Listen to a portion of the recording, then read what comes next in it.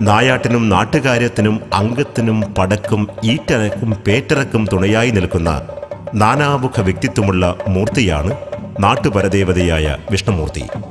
പാൽക്കടലിൽ പള്ളി കൊള്ളുന്ന ആദിനാരായണന്റെ നരസിംഹാവതാര കഥ തൊട്ട് നീലേശ്വരം കോട്ടപ്പുറത്ത് കുറുവാടൻ കുറുപ്പിന്റെ അപ്രീതി ഭയന്ന് നാടുവിട്ടോടി മംഗലാപുരത്തെത്തി വർഷങ്ങൾക്ക് ശേഷം മടങ്ങിവന്ന് തളിയിൽ ക്ഷേത്രത്തിന്റെ കുളത്തിൽ വെട്ടേറ്റ് മരിച്ച് പാലന്തായി കണ്ണൻ ദൈവമായ കോട്ടപ്പുറത്തെ കണ്ണനാണത്രേ വിഷ്ണുമൂർത്തി തെയ്യത്തെ നീലേശ്വരത്തേക്ക് എത്തിച്ചത്.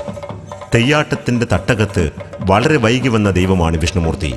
നീലേശ്വരം കോട്ടപ്പുറത്ത് കോട്ടപ്പുറം മുഖയന്റെ പടിഞ്ഞാട്ടയിൽ ഇടം കൊണ്ട ഈ ദേവത പിന്നീട് ക്ഷേത്രമായ ക്ഷേത്രങ്ങളിലും കഴകങ്ങളിലും ഒഴിച്ചുകൂടാനാവാത്ത ദേവതാ സാന്നിധ്യമായി.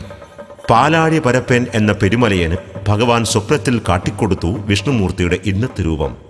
രക്തചാമുണ്ടിയുടെ രക്തക്കൊതി മാറ്റാനും മറ്റു ദുഷ്ടമൂർത്തികളുടെ കണ്ണേറ് ദോഷങ്ങൾ ഒഴിവാക്കാനുമാണത്രേ തെക്ക് പടിഞ്ഞാറേ മൂലയിൽ വിഷ്ണുമൂർത്തിയെ കുടിയിരുത്തിയിരിക്കുന്നത്. സർവജാതി വർണങ്ങളും പ്രാർത്ഥനാപൂർവം കെട്ടിയാടുന്ന മൂർത്തിയാണ് വിഷ്ണുമൂർത്തി.